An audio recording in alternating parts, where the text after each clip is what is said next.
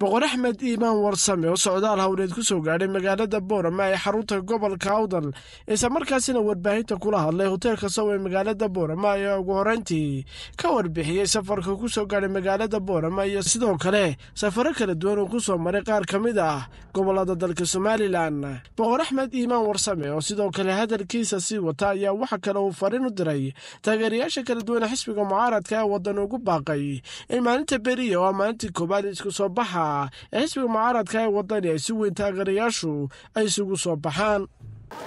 Maanta waxaan joognaa gobolka awdal magaalo madaxdeeda boorame. Ilaahay ba mahad iska leh. Maanta garbayga waxaa taagan cuqaashii beelaha aan ka soo jeedo. Hadday tahay madhibaan muuse annaas iyo tumaalba. Aad baan uga mahad celinayaa shalay toole ayaannu soo galnay magaalada. Waxaannu ka nimid gobolka togdheer magaalo madaxdeeda burco. Wuxuuna ku saabsan yahay socdaalka ayagani aan soconnaa inagii xildhibaankiyo dardargelinta iyo ma og tahay aanu wacyigelin aan u samaynayno beelaanu ka soo jeedno. Annagoo ahayn dhowr iyo tobankii sannadood iminka xisbigaas uu jiray mucaarad ahayn intaana ka hadlaynay isbeddel doonka ayaannu ka dhaadhicinnaa inaannu hormood u noqono isbeddel doonka.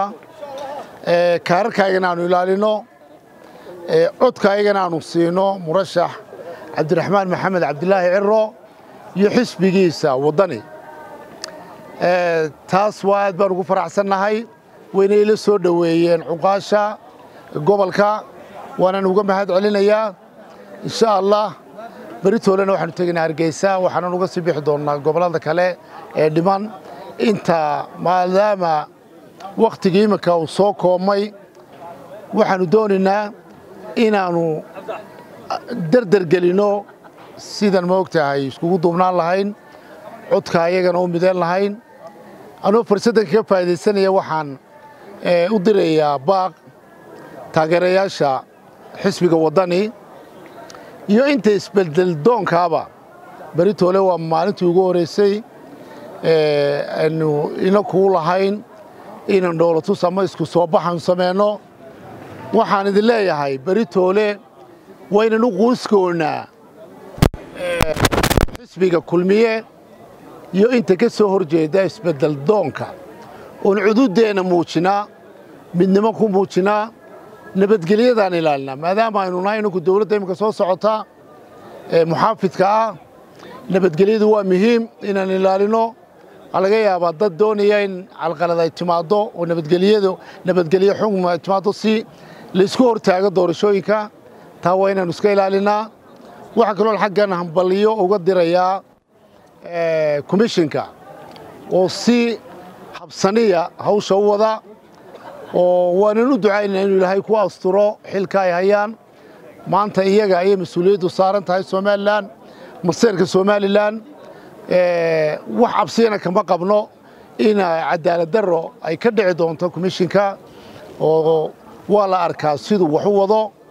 Waxaa kaloon iyagana xaggan mahad uga celinaynaa ciidamada qaranka khaas ahaan ciidamada booliiska oo si fiican iminka nabadgelyada wada caddeeyeyna inay dhex u yihiin xisbiyada iyo ururada.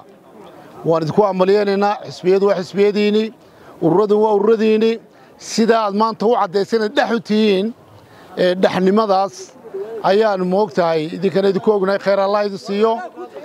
Aad iyo aad ayaannu ugu mahad celinayaa moogtahay cuqaasha waxgaradka reer awdal. Waana idin salaami wasalaamu calaykum waraxmatullaahi wabarakaatu